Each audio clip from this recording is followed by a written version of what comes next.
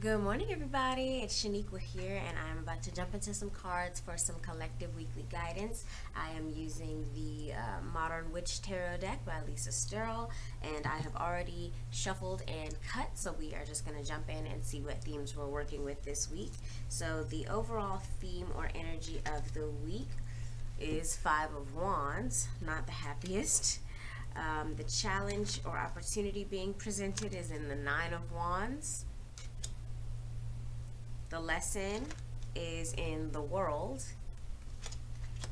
We're being guided to increase. Oh wow, Ten of Wands. So lots of wands and fire energy here so far. Um, we are decreasing the Hanged Man and releasing. Oh wow, the Tower. Our context card is the Eight of Pentacles and the deeper lesson offered wow again more wands eight of wands. So we have four cards from the wands suit. We've got two major i'm sorry three major arcana um, and two eights. So that's really interesting. Let's go through card by card and see what messages come through. So the fact that we've got so many um, wands cards here and the tower is also a card of fire. This week is really really asking us to look at where we are putting our inner our energy.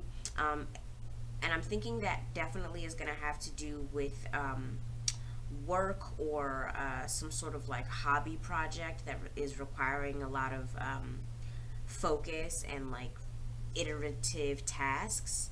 Um, because there's some aspect of it that needs to be dropped. There's something that is over and done with, and we're being guided to move on from that. Um, Five of Wands is about having your perspectives challenged, and um, it can oftentimes come through as a very aggressive energy. And so this week, it's likely that many of us are going to experience. Um, competition in like a very literal sense where there's um, maybe something being offered to us, maybe um, a promotion or some sort of um, position of uh, an elevated status that others around us are vying for or you know want to get instead of us instead of you. Um, so just be very aware of like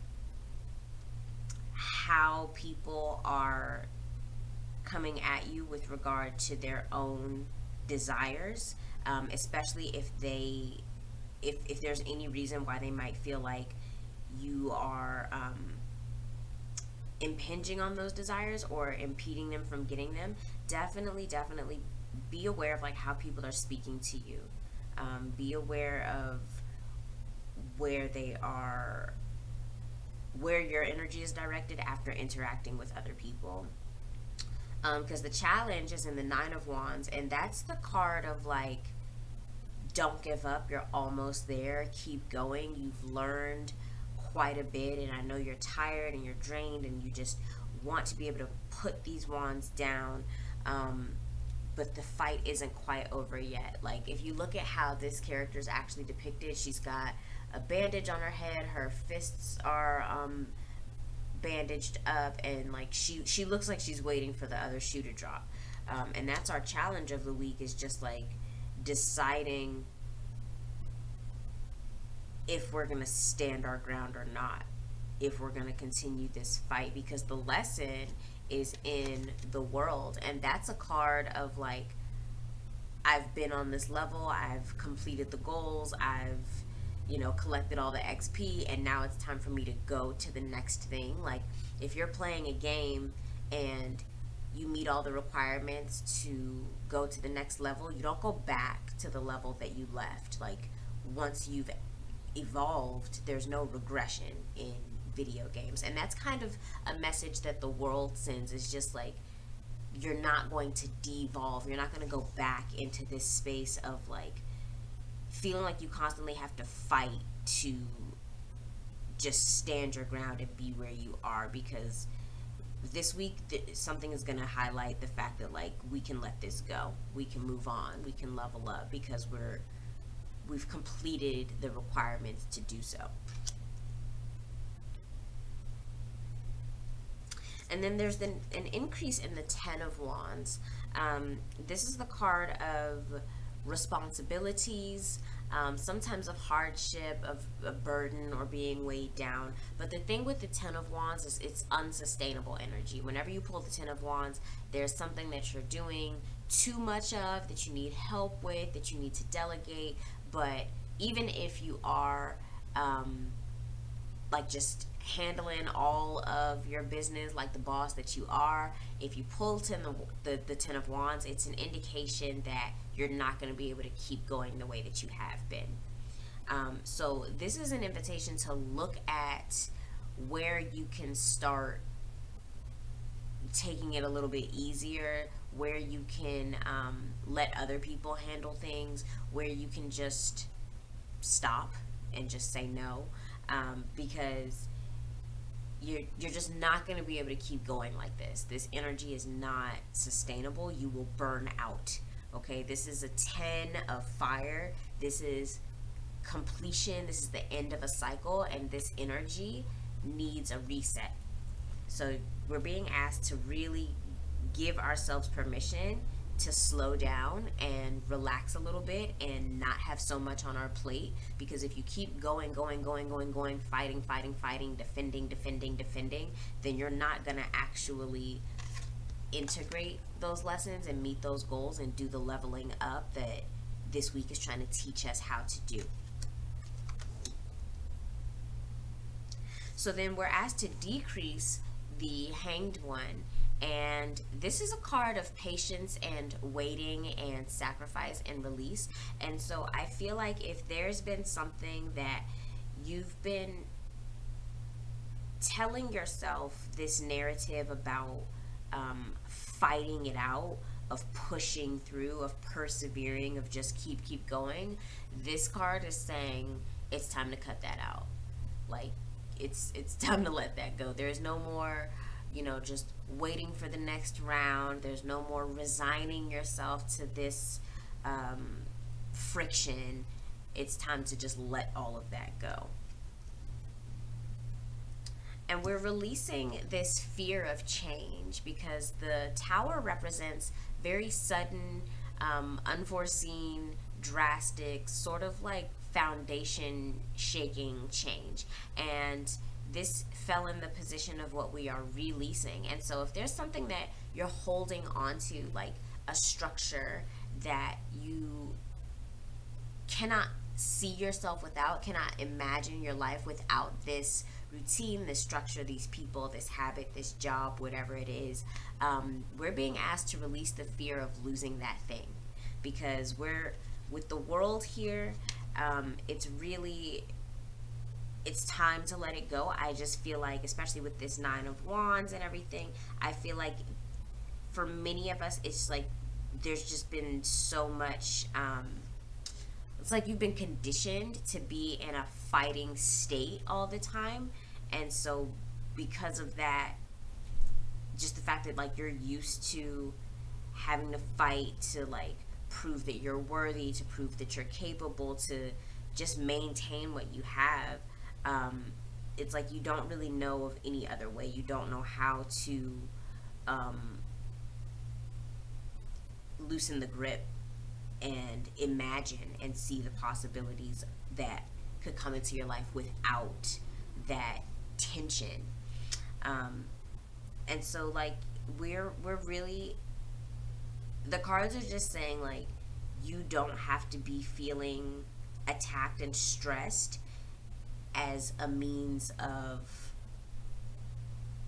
assess not assessing but as um as a way to point to success. Because i think that's a societal narrative that like oh, you know, it's a dog eat dog world and, you know, um, winner takes all and that type of mentality.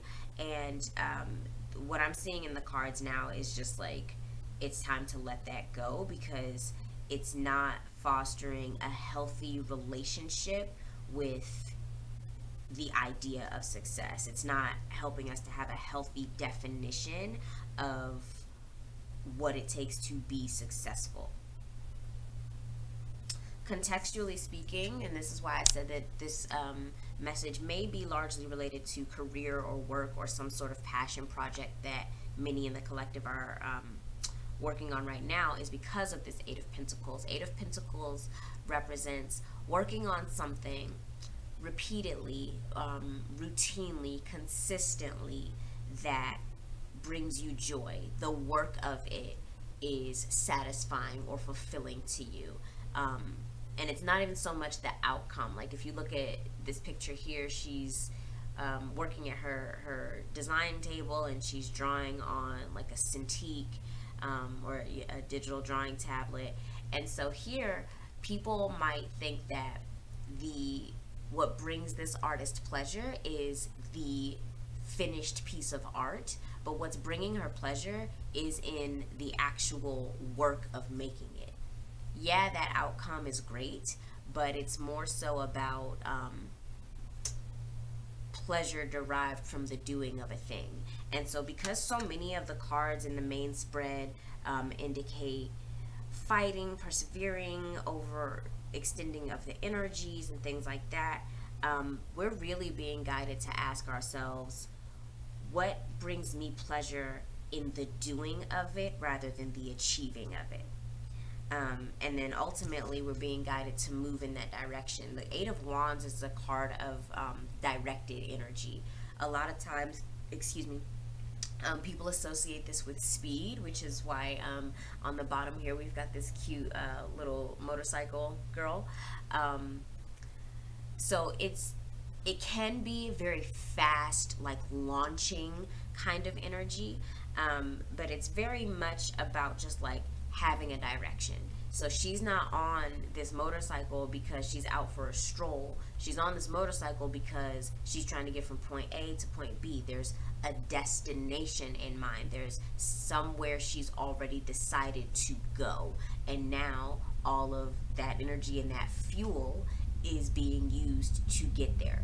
Um, and so th- this week, really, I think that there's a need for many of us to reorient, to decide um, not to invite strife into our vision of what it means to be accomplished or um, as part of just the day to day norm. And then once that decision is made, to really take tangible steps to redirect our energy towards something that is going to get us to that next level. Okay? Lots of uh lots of fire energy here. Like there's there's so much fire. This is really a week of um realigning how and where you are using your energy. Because I just feel like for too many of us it's been a fight. It's been a I just I have to. I've got to keep going. I'm required. And so just challenge yourself. Ask yourself if you find yourself thinking, you know, well, of course I've got to have conflict in my job because blah, blah, blah. Ask yourself, how do you know that's true? Just ask yourself that question and see what you come up with. Be patient to actually listen for the answer coming from inside because I promise it'll surprise you. Too often we have stories around what's possible, what's true, what's available, and until we actually challenge those stories, um, we're not even aware that we're operating under their paradigms. So, really look at that this week.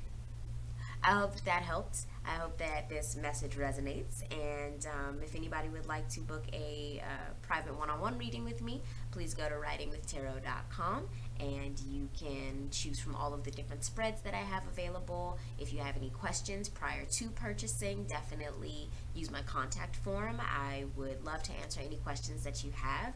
But other than that, I hope that everybody has a really great, very empowering week, and I will see you guys in the next video.